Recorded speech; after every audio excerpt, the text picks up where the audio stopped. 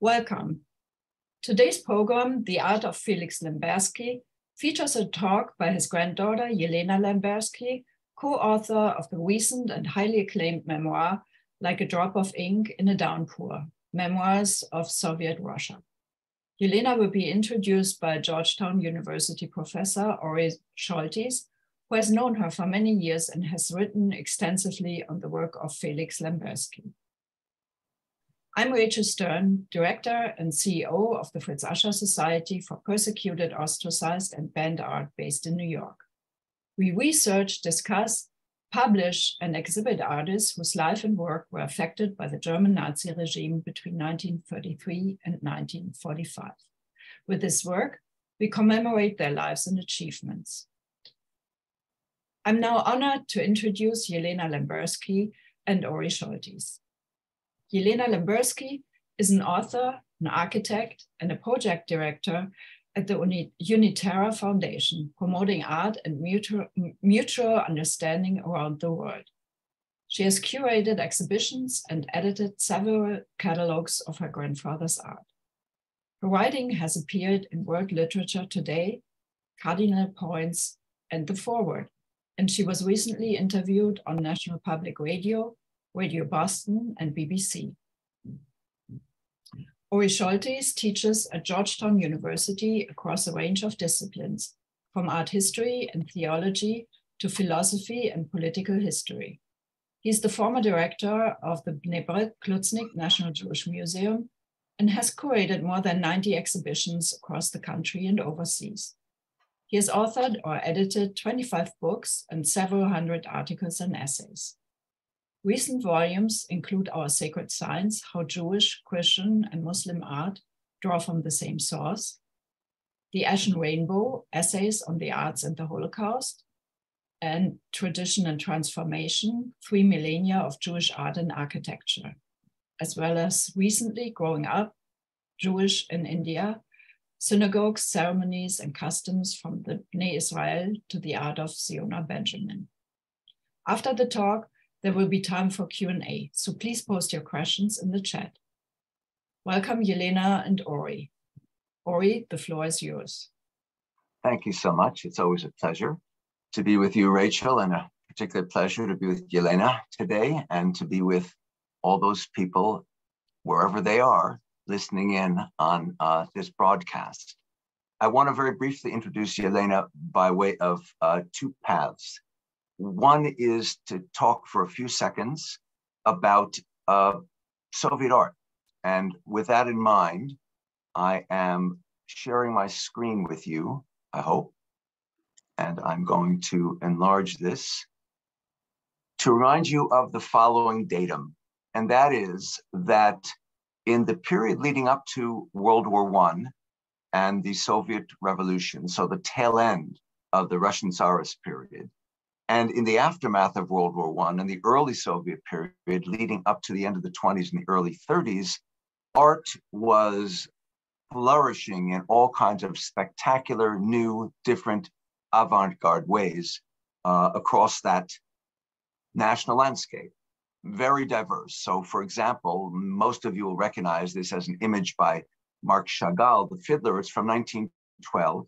And of course, it is surreal. You've got this dude who is dancing, as it were, above the roofs, larger than everything around him. He's got a green face. His violin is turning col- colors, and so on and so forth. By contrast, this work by uh, Malevich from um, about 1915 gives us a black suprematist square, almost the antithesis of what Chagall was about, but also innovative avant garde, whoever heard of painting up to this point that would be a black square of some sort? Or on the third hand, this image by um, Tatlin, which is just a maquette for this enormous tower that he had in mind to construct in 1919, creating a whole new architecture of architecture. And one more image by El Lissitzky, uh, from about 1925 from his series called Project of the New, Proun, where he talked about the issue of squares and curves and rectilinear straight lines and so on and so forth in imagery that falls far outside what would have been traditional thought with respect, with respect to painting. And in his work in particular, there was also writing that was often within, embedded within the work. So that we're talking about a whole new range of visual language with an endless array of new kinds of vocabulary. Then we arrive to the period after Lenin, the struggle between Stalin and Trotsky, the emergence of Stalin as the leader of the Soviet Union. And by 1932, his demand that all Soviet art, all art that is appropriate for the state, in the state, by the state, by artists within the state, anything that wants to be art in our Soviet Union has to be what is called Soviet socialist realism. So we have, for example, here a, a painting of Stalin himself by Isaac Brodsky, but even more characteristic of the Soviet socialist realist style, we have a very avuncular Stalin who is surrounded by these joyous scouts, these kids with their nice crew cuts and their shorts, handing him this wonderful bouquet of flowers. And again and again, the kind of imagery that Soviet socialist realism demands is joyful, happy children in a beautiful, happy landscape, a completely idealized perspective on this wonderful new paradise known as the Soviet Union. Mind you, this is during a period when literally millions of citizens have been starving because of the new economic policies that Stalin has put in play. And yet we see them, not just the children, but the farmers, the workers, the peasants. Everybody is joyful. Everybody is young. Everybody is healthy. Everybody is happy. It's as terrific an image as you could ever hope to have. And that's the kind of painting and that's the kind of sculpture that you will do if you are to be an artist within the regime that will extend from 32 all the way to 1988. Which means if I'm an artist who wants to do something else, I live in what was referred to uh, in the 1980s, sorry, the 1970s, as a two world condition. What I present to the outside world conforms to what are the requirements of Soviet socialist realism. What I produce that feeds my own soul is hidden, it's nonconformist. And perhaps no one sees it, or only a reliable, trustworthy group of people sees it. There was a movement called APT art, APT as an apartment art, where there were little exhibitions going on in apartments of avant garde artists in the 70s who only allowed their trustworthy friends who aren't going to report on them to see these sorts of things. For Jewish artists during this period, one might refer to a three world condition. Not only am I trying to figure out how to balance between doing what will be acceptable to the regime and doing what will be acceptable to my soul, but if I have a Jewish identity and Judaism and religion in general is not something accepted by the state, are there ways in which I might embed aspects of my Jewishness in the art that I produce. When Yelena Lembersky showed up at my door when I was directing the Klutznik Museum in Washington in the 90s and brought me the work of Felix Lembersky, I was blown away, among other things, by the way in which he had managed somehow to dance on the border among those three worlds. And what I hoped to do was present an exhibition of his work. Alas, I didn't do that because I left the museum before I had the opportunity.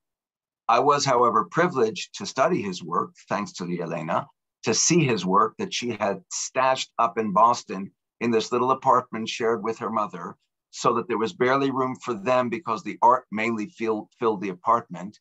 I was a privilege to write a few things on it, but nobody knows his work better than Yelena who is not just his granddaughter and the primary archivist of his work, and an architect in her own right, but an art historian in her own right, someone who is knowledgeable about art history, about the history of art in the Soviet Union, and about the art of Felix Lembersky, about which we are privileged to hear. Yelena, the floor is yours, and thank you for joining us. Thank you, Ori. Thank you. It's uh, thank you, Rachel, and thank you, Ori. It is a great pleasure to present with my dear friend of many years, Ori, and to be part of this wonderful uh, event series at um, Fritz Ascher Society that brings really tremendous body of work of many different artists who sometimes would not be seen or heard uh, anywhere else. Um, before I begin, I want to ask um, the listeners this question, and I know you cannot answer it, but I want to just put it out there, and perhaps during Q&A we can discuss this. But imagine you had inherited or you received a body of paintings, a large body of works, and everyone who is familiar with this art will tell you that this is a very important art. But for political reasons, you cannot show these paintings in public. What would you do?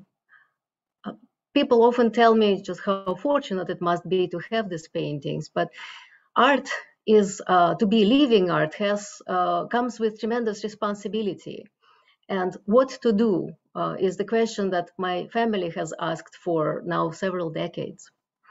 Um, I grew up in Leningrad in the 1970s.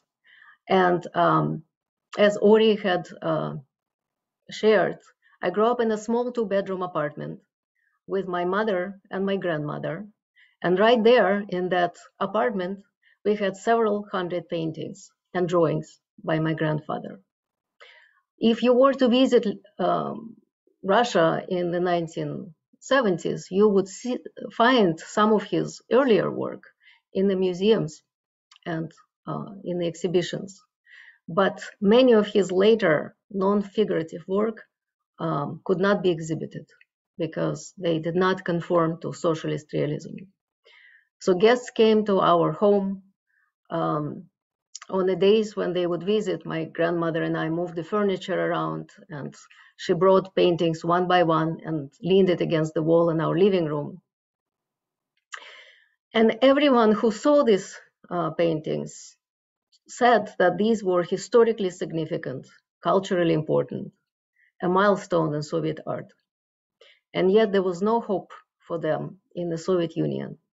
So my mother and my grandmother decided that all of us will would emigrate and take this art somewhere where they would be free um, to be shown to people. Um, I'm going to try to share my screen. So last year, can everybody see it? Yes. Um, so last year we published um, a memoir, like a drop of ink in a downpour, which tells the story of our unexpectedly long nine-year journey out of Russia. Oh, but before um, we published that memoir, we published um, the catalog of uh, Felix Lembersky paintings and drawings in 2009 that in it was the first comprehensive uh, book about his art, and it began the gradual um, rediscovery of his work in the United States, then in Russia, um, and now around the world.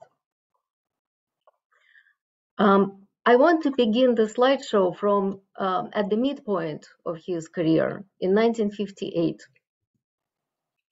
This was the moment in Soviet Russia when five years after Stalin uh, finished his run of terror, and there was a moment of hope. Um,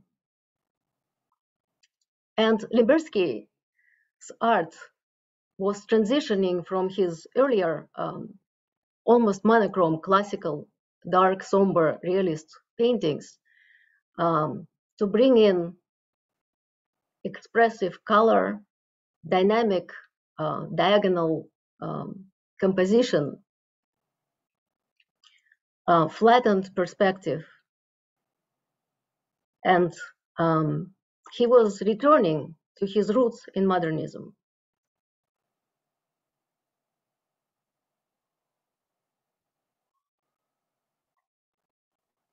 Um, this trip to Nizhny Tagil was his first, his third trip um, the first time he visited uh, the Urals in the 30s when he was collecting material for his thesis painting. Uh, this painting on the right is of the industrial workers that he created in the late 30s. Um, this, his thesis painting was dedicated to an industrial uh, plant in the Urals and a tragic accident that took the lives of two workers. His second visit, um, yes, and he had he had def uh, defended this thesis uh, during World War II in the besieged Leningrad in December of 41. Um, his second uh, visit was a year later when um, he was evacuated uh, from Leningrad uh, to the Urals, suffering from dystrophy and um, wound that he had received in the defense of Leningrad. And as he recovered, um, he worked uh, at the industrial plants as an embedded um, journalist, artist, um, creating portraits and images of um, home front supporting um, the war against the Nazis. Uh, these uh, images are of his students. Um, in the Urals, uh, he had, while during the war, he created an art studio. A, um, he taught art. He created a gallery, art museum that became an art museum uh, of Nizhny Tagil. And when he returned to Leningrad, his uh, paintings uh, gradually progressed, um, bringing in more and more color throughout the 50s. This is the portrait of his wife and his uh, daughter, my mother.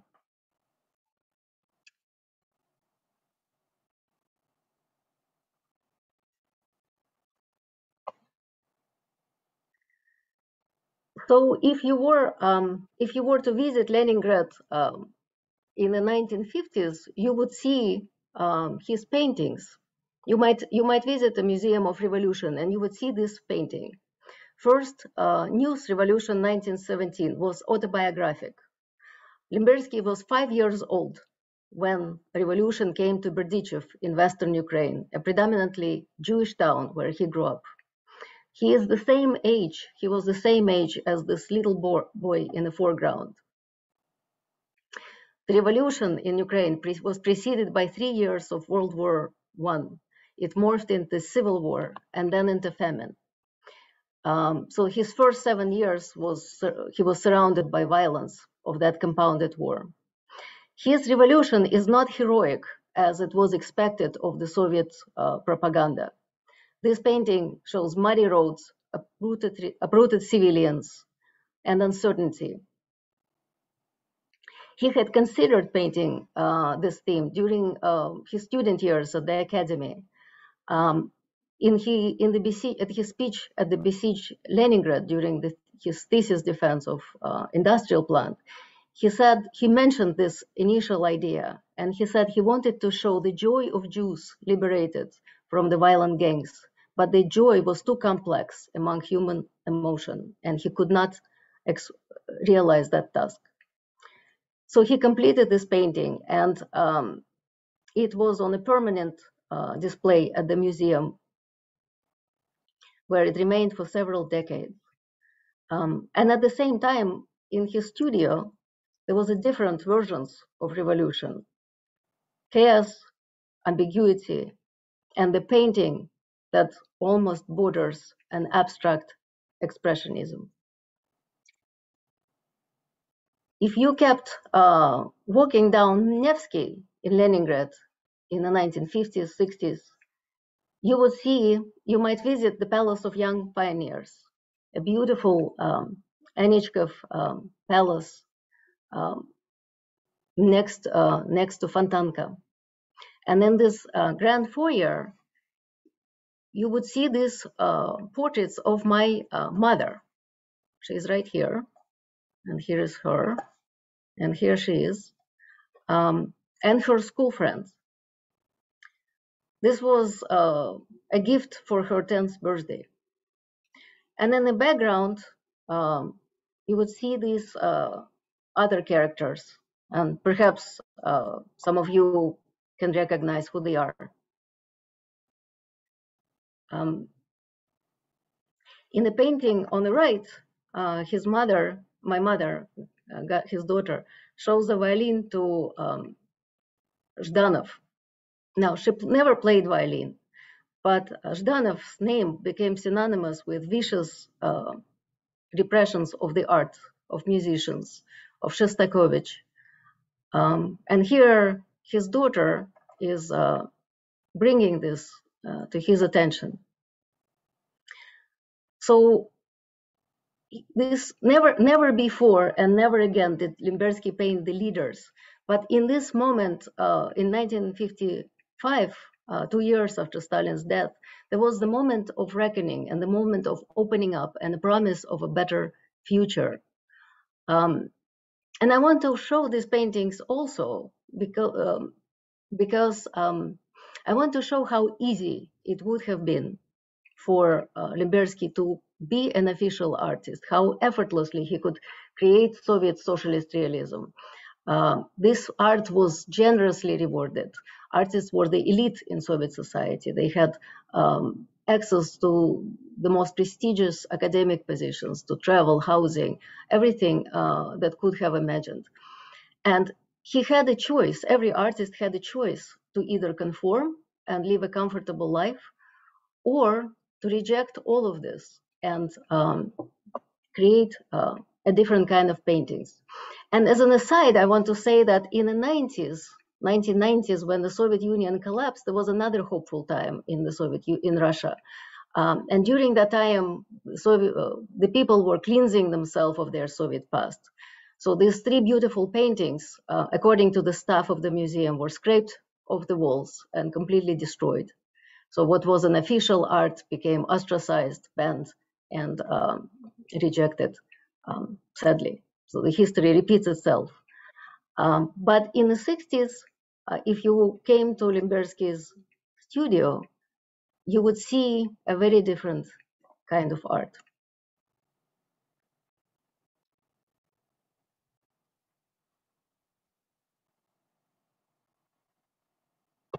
In a speech um, from the 19, uh, in 1956 or 57, he said, until recently, we could not speak honestly because we were told that art cannot have contradiction, contradictions, that we must create lacquered, polished heroes. To create such heroes is to steal from people. This is not the essence of the truth.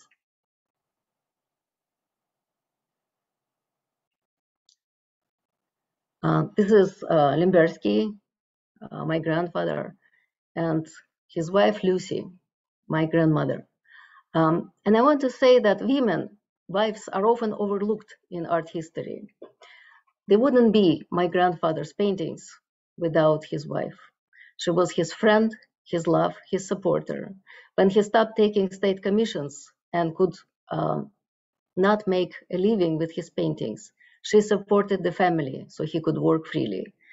When they had no money to buy new canvas, she patched the old pieces of canvas and sewed them together. She put the canvas on stretchers. She prepared it for his paintings. She was his first critic. Um, when he became gravely ill, she took care of him. And when he died in the 1970s, she took care of his art. Um, she went alone to the United States to bring this art um, in the 1980. And she's a part of everything that um, he had created. Um, artists are often classified according to the last place uh, they worked. So um, Marc Chagall is French, Lembersky is Russian. But in fact, um, Lembersky was born in Lublin, Poland, to a family of Polish Jews. When World War I began, his family became refugees. They moved east uh, to Ukraine. He grew up in Berdichev. Um, when he began to study, he began to study art in Kiev in the 1920s. He began his independent work in Ukraine in the 1930s. Um, and only then in 1935 he moved to Leningrad. In his autobiography, written a quarter century later, Lembersky says that Ukrainian landscape and the art of the first uh, years after the revolution, the art of avant-garde, were among his greatest um, influences. And I want to take um, just a few uh, minutes and briefly talk about Ukrainian and Jewish avant-garde in Kiev. Uh, the 1920s, Kiev became the center, center of tremendous burst of creativity when Ukrainians, Jews, and ethnic Russians worked together to create radically new, revolutionary, nationalist art that was rooted in their respective traditions. Two major institutions were formed uh, Jewish Kulturliga, where Lembersky studied. So this image is of the studio around the same time that he was a student at the Kulturliga art school. Um, and these works are by Mark Epstein, one of the founding members, and Lembersky's teacher, uh, who remained uh, the head of the Jewish Arts and Trade School uh, until 1930, long after Kulturliga was dissolved.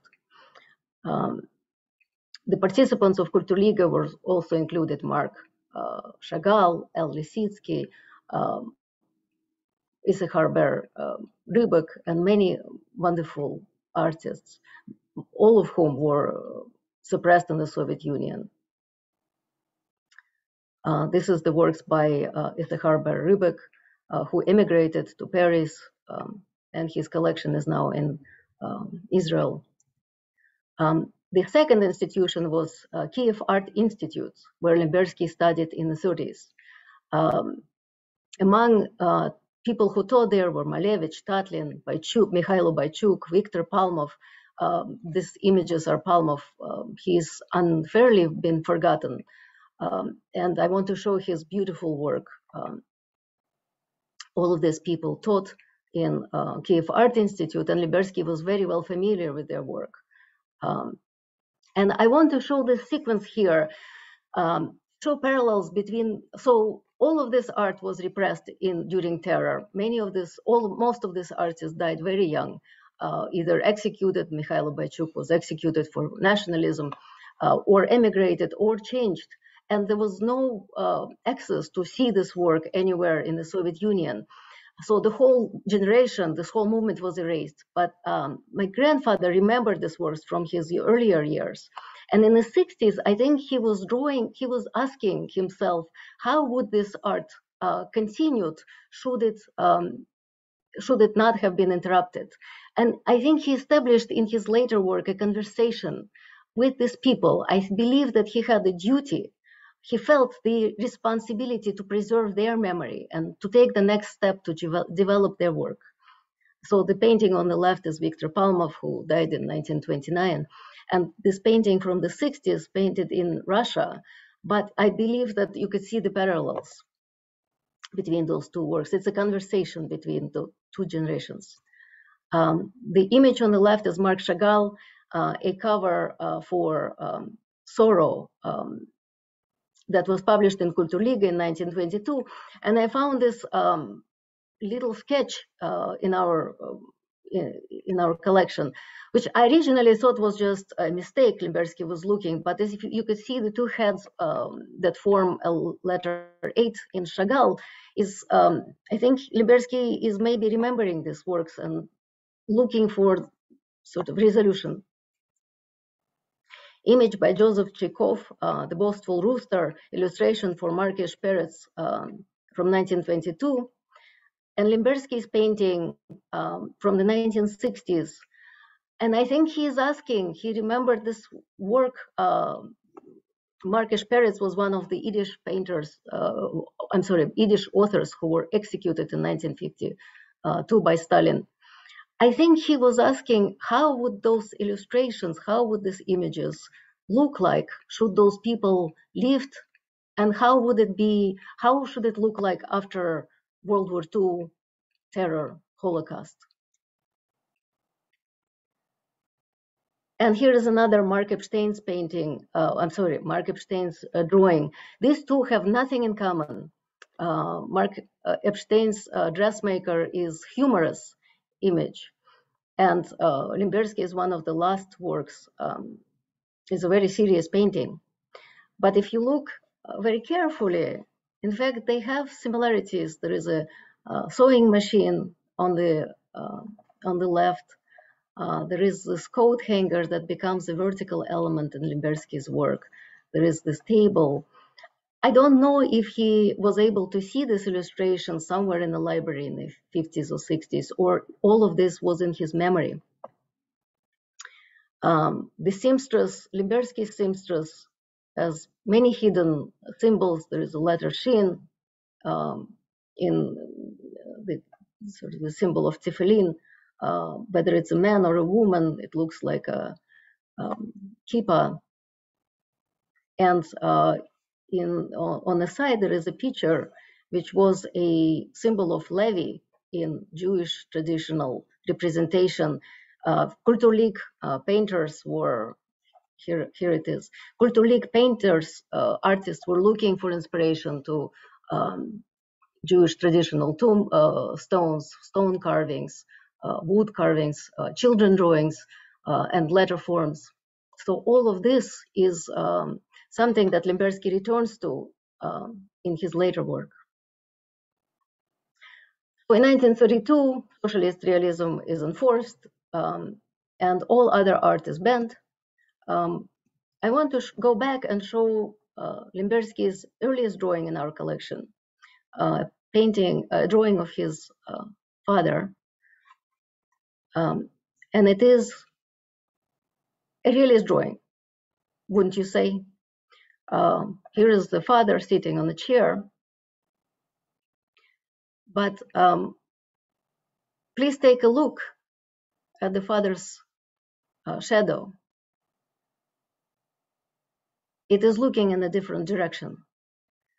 And uh, on top of that shadow, there is other shadows, and it forms the kind of a portal, the doorway. And so, is this a realist work of art. The, Lembersky grew up in Berdichev with a very strong um, Hasidic tradition, Hasidic mysticism. Um, and he read uh, books by Yiddish uh, authors, people like Der Nister, which formed um, his uh, understanding of the world, that there is always a spiritual presence uh, in parallel uh, to the uh, existing physical world. And I think that this um, drawing is the key to understanding all of his later art. These are his uh, parents. Uh, his um, mother was a pianist. Um, when after World uh, when World War One came to Lublin, where they lived, uh, they became refugees. Um, she became they moved to Berdichev, where she was a caregiver at the orphanage and then a teacher. They remained in Ukraine when the Nazi Germany uh, attacked uh, the Soviet Union. Ukraine uh, Berdichev fell in the first weeks of the war, Jews were moved to the um, ghetto, and in September 1941, um, 20 to 30,000 people uh, were executed. Lembersky was in Leningrad, then in the Urals. When the Nazis were driven out, he was looking for his parents, and there was no information given about what had happened. Uh, in 1945, Stalin banned the discussion of Holocaust. Um, and so when he uh, wrote to the Red Cross, the response was they were missing, no further information. Babi Yar began, uh, became the uh, symbol, um, became synonymous with Holocaust in the Soviet Union. Lembersky began to work on this painting at the end of the war. Uh, he created three, uh, three works. uh, in the Babi Yar series.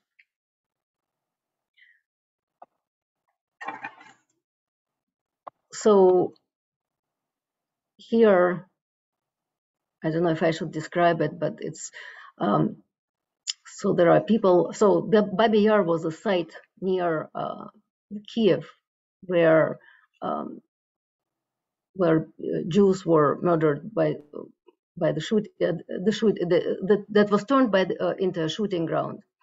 Um, so there are Nazis on the on the left, and there is Nazis next to a, a, gas van on the right. The gas van was not in Kiev, but it was brought by the Nazis to the Belarus. Belarus. Um, but he gives the main stage to the people.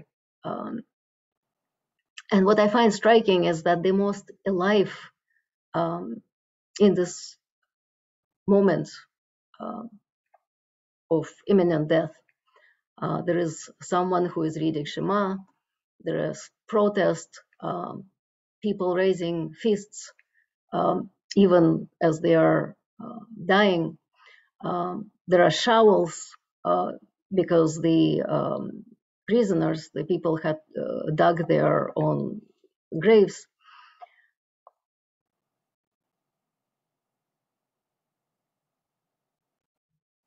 This is the earliest uh, of this series. Uh, it is a large painting done on the two uh, sheets of paper uh, in oil. And I will not just, it needs to be seen. And the last one is 1952, um, the year of um, the last year of Stalin terror and the year when Yiddish painters were um, uh, executed. It took tremendous courage uh, to paint Holocaust uh, work during that time. These paintings are considered the earliest uh, artistic representation of Babi Yar. And during Lembersky's time, lifetime, he was never able to show these paintings in public despite of many attempts to include them in various exhibitions in his retrospective in 1960, he was never allowed to show this work. Um, and now uh, they've been published and uh, shown all over the world, and they are his probably his best uh, known work.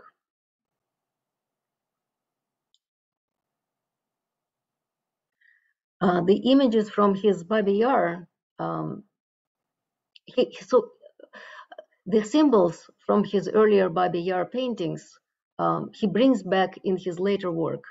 Uh, the raised fists from the 1940s reappear again in his uh, paintings of industry. Here the chimneys turned into this raised um, fists. Uh, the shovels uh, become a symbol in his later paintings that seemingly were de devoted to industry. Um, here, please uh, take a look. It's a, it's a very complex. They're small paint uh, images, but they're very complex. Um, there are shadows in the background, shovels, and there is this uh, little image of the fire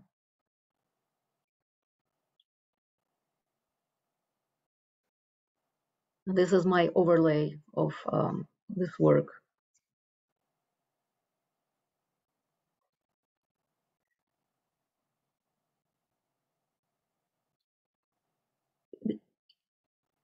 The inability to speak freely. Um, here he shows um, people with uh, mouth closed, covered. This image at the uh, painting at the train station, um, a black woman and a white woman um, created at the time uh, of the civil rights uh, movement beginning in the United States. He was familiar uh, with uh, with the civil rights movement, and the painting's composition reminds the um, lunch counter sit-ins uh, the photographs of which he would be able to see in the Soviet um, print. In this work, I believe he draws parallels between um, the struggle of the Black community in the United States and the struggle of Jews, artists, uh, dissidents in the Soviet Union. And these are the sketches and many paintings in the series.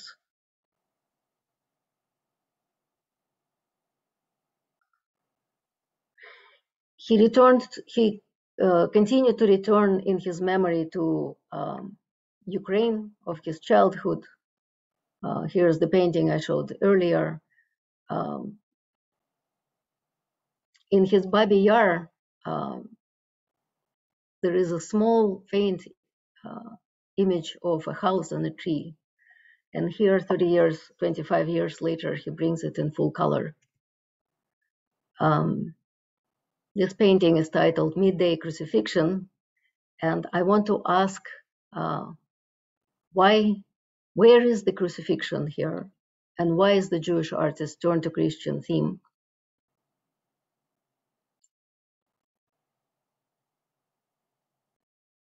And of course, um, Chagall's White Crucifixion, 1938, and Lembersky's reply um, post-Holocaust.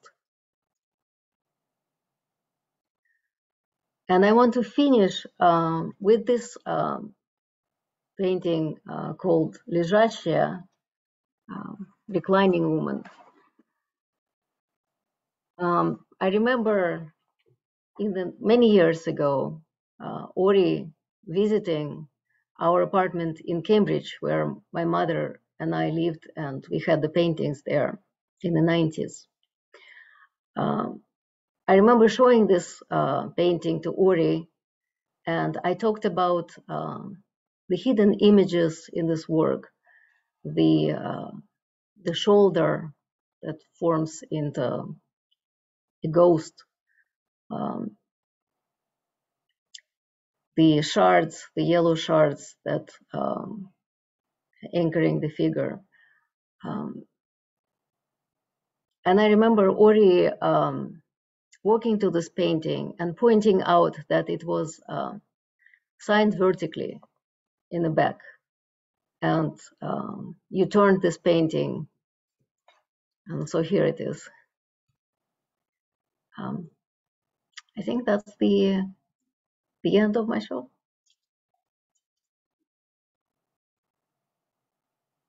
Thank you, Elena. That was wonderful. Um, I have two questions with which I would uh, love to begin. Um, and then we'll see what other questions there might be from others. Um, one is uh, of course, the Babi Yar series, which is just spectacular, and particularly the way the the the upraised arms. It reminds me, of course, of, of Goya, the 3rd of May, 1808, where in Goya's case, we've got this lineup of, of Spaniards, and there's the one in front with his arms upraised, being gunned down, and we see the French soldiers. But in Babi Yar, of course, we see the upraised arms but there are no soldiers, which is to say, the victimizers of the victims are invisible to our eye. And I wonder if he's thinking about that at all and, and about the way in which, because I remember visiting the site, uh, I guess at the end of the 80s, early 90s.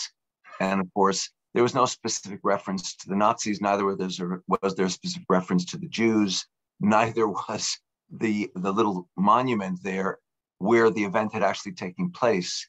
It was a full half kilometer from the actual site. And of course, I remembered that before Yevtushenko wrote his poem, there was no monument at all.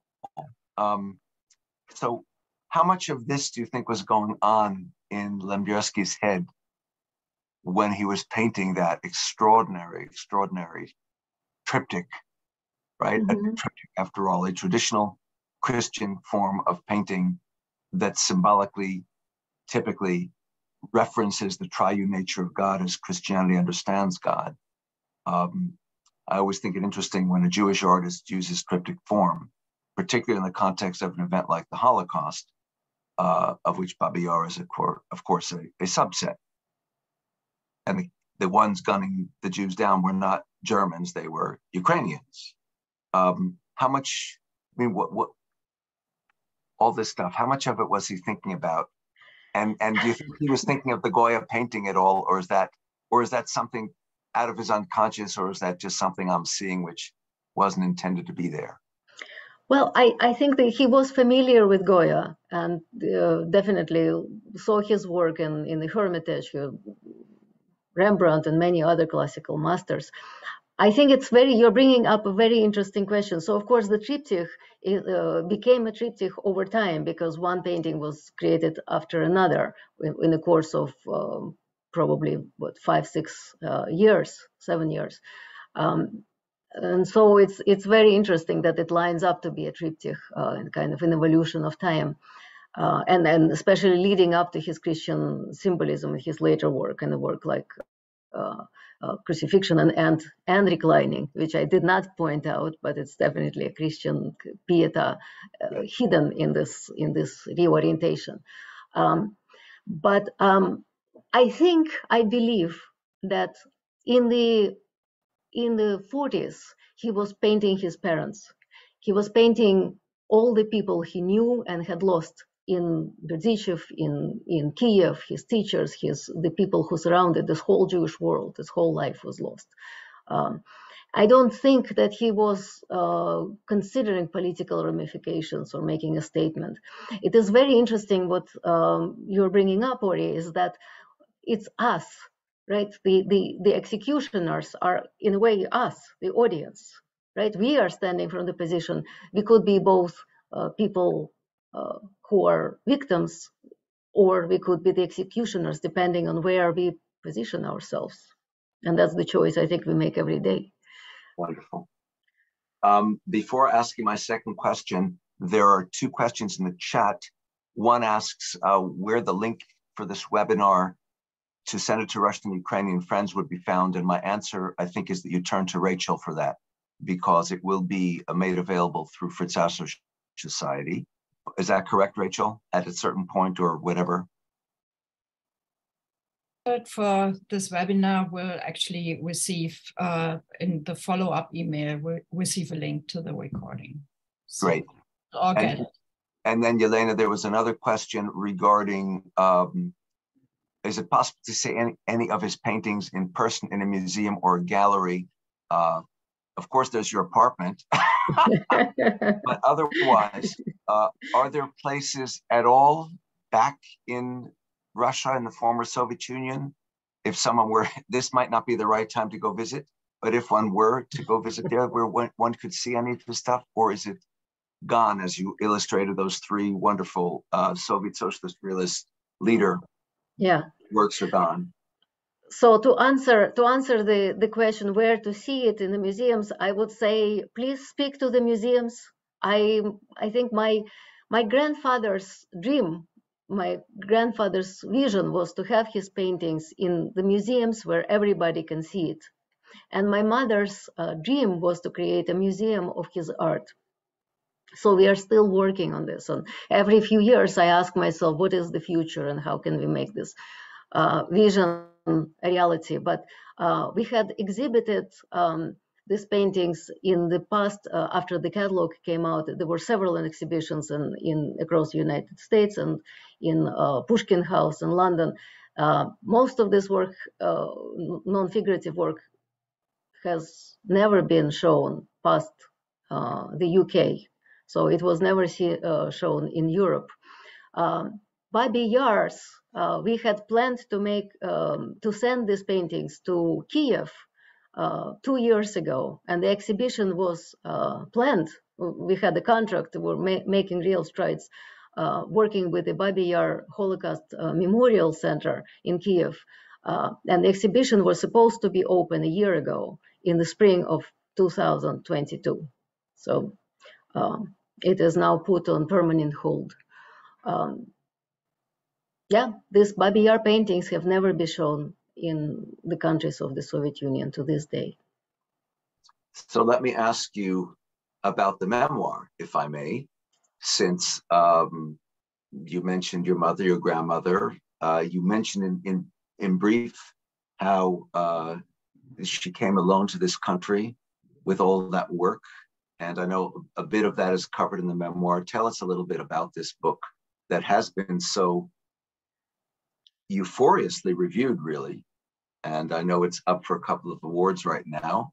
And even if it doesn't get them, I award it personally. Tell us about it. Well, so the memoir is a separate story.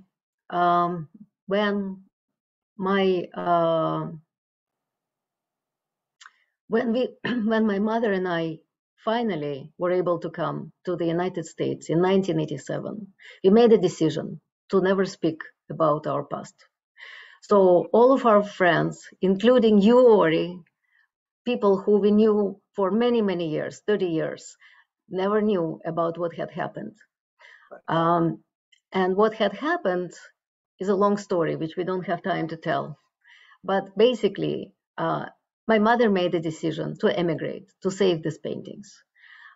And um, we were able to secure our visa in 1981.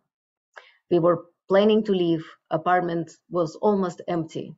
Um, and then I returned from school um, and saw three men from the Soviet police raid our home. They turned everything upside down. And when they left, they carried away our visa. My mother was charged with the crime. She was innocent. Um, I was 11 years old when she was sent to prison. Um, and that is the story of the memoir. That's the beginning of the memoir. I invite everyone to acquire a copy because it's really quite compelling. And it's a unique memoir because we we we read about these experiences from two angles that of Yelena's mother and yet that of Yelena, who, as she says, the at the time of the event she just described was all of 11 years old. So it's uh, more than a bit compelling. And you're right, it's it's a separate story, except that it's important for further context and understanding how uh, Lembersky's oeuvre survived at all, because it would probably all be gone if you guys had not managed, had the courage, the guts, not mm-hmm. only to leave, but to leave and somehow get all of that stuff out with you, because that was not necessarily an easy thing to do. Um, I think to re- I'm sorry. No, no, go ahead. No, to, re- to, to return to, to the other uh, to the question of saving the arts and where it could be um, seen right now. Um, there are um, several uh, paintings in the Zimmerli Museum of Art in New Jersey, uh, right. Norton Dodge nonconformist um, collection of Soviet nonconformism. And um, there is a number of works in Nizhny Tagil in the Urals, uh, the museum that he had founded uh, during the war. And that museum had done really tremendous work to promote um, him in, in Russia. There are several works at the Russian Museum in Leningrad. Um, and I believe that there are still a few in the museums across the Soviet Union. But of course, all of that work is earlier and surrealist. So there is two different Lemberskys that people know in in Russia and, and here.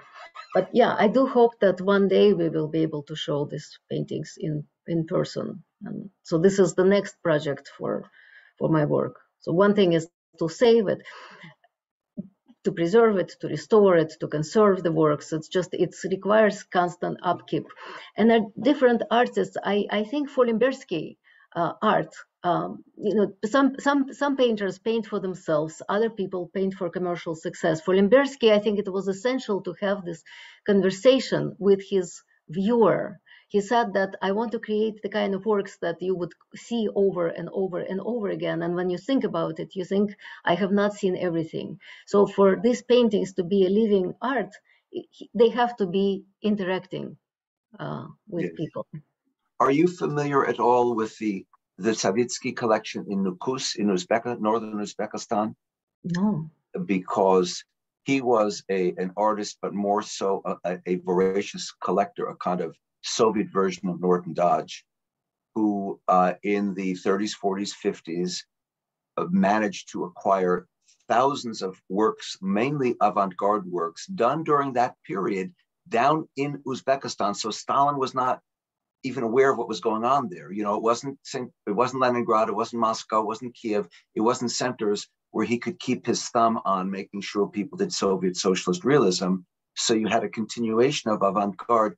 And um, when I first visited there, hoping to bring that that work to the United States, but the financing fell through and it never happened. Uh, it was all stored in what had been the Department of Agriculture. But subsequently, they built a magnificent museum, and I wonder, I would think that that might be a site of, of interest for displaying Lembersky's work, albeit obviously there's something to be said for showing it in a place that is more accessible to a visitor audience than Nukus. Um, but I just I just bring that bring that up to you as as some sort of a thought anyway. I had visited uh, Samarkand when I was a child, 10 years old, and I think it's the most magic place that I've ever seen. So any excuse to go back to Uzbekistan. Yes, although Nukus is not magical. it is not Samarkand, it's the, the other side of Uzbekistan, as it were. Yeah. Kind of a, a, a dust bowl town, as yeah. it were. Anyway. But I think the paintings probably would stay here for now. And yes, we'll work on. Sense something coming from you. Go ahead.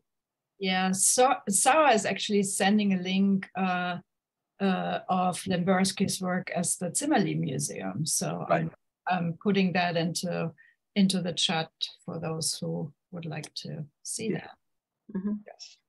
Mm-hmm. Um, Yelena, why do you think he called it crucifixion? um, that wonderful fence post. And I noticed everything is blaringly, glaringly yellow, which is certainly a familiar color in the history of Christian art, uh, yeah. as the color associated with Judas and the Jews. It could be. It could yeah. be. It's also gold. It's also the color of gold, the gilded icons. He was looking at the icons, the traditional painting, and Ukrainian icons, the Russian icons. Um, light, sunlight. I, I don't know. I don't know how to look at it. Depends on the on the day. I see it as a positive and hopeful time, or or or or or the or the yellow, the yellow of the Jewish yellow star. So, um, the titles of his paintings, I have to say, are very very um, problematic because each painting has multiple titles and many of them are untitled. And uh, my grandmother attempted in the 90s to attribute some of the works um, to, to put them into certain series. And so some of the paintings are uh, attributed to industrial series, but they're also, uh, I believe, Holocaust. And so I think that what he was looking at really is to create, find a comprehensive symbol, comprehensive universal image that could speak about his to his own experience as mm-hmm. a Jew, as a as a, someone who lived through multiple wars, and there but also that could become a symbol that would be representative of industrial workers, of, of the whole entire experience of um, that time. And so did he actually name most of them? No. we have them through your through your grandmother and combination. Yeah, yeah. Uh-huh. sometimes they would create titles uh, in the catalogs as they were trying to put together exhibitions, but then people who knew him would say no no no this is not the household store it's the it's the necklace or something so it's or or it will say matryonin dvor uh, Matryona's yard uh, which is the title of Solzhenitsyn poem but of story but it really clearly something else and it looks reminds me of more of Vasilis Grossman Jews with Ukraine without the Jews so it's it's complex yes it is archaeological excavation. Yeah, a multiple world condition. Multiple world condition. Well, I believe our time, as the shrinks say, is up. this has been absolutely uh, splendid, a wonderful pleasure for me, as I'm sure it has been for our audience. And uh, Rachel, do you have any last minute things to share with us? Yes, of course. Out of the cold. of course, yes. Uh, actually, uh, thank you Yelena, and thank you, Ori. This was very enlightening, and there are so many more questions uh, um, about the work. And I think we'll all go to the Zimmerli Art Museum's uh, website and check out more of the work and hope that it will come out in exhibitions in the years to come. Um, I want to, uh, since you brought up the uh, memoir, um, Ori, I want to uh, mention, I will also send that out in the follow-up email. Uh, the publisher of the book has actually agreed to give uh, those who order um, uh, the book until the end of the month will receive a 25% discount with the code Lembersky25. Uh, so um, to our audience, which um, I find very exciting. And um, so we can all order the book now and uh, learn a little bit more about your story, uh, Yelena's, and uh, also, of course, your family's story. Um, thank you so much, everyone, for um, being with us today. Um, take good care and stay well. Thank you. Thank you, Rachel. Thank you, Ori. It was really wonderful to be with you today. My Thank pleasure. You. Bye. Bye.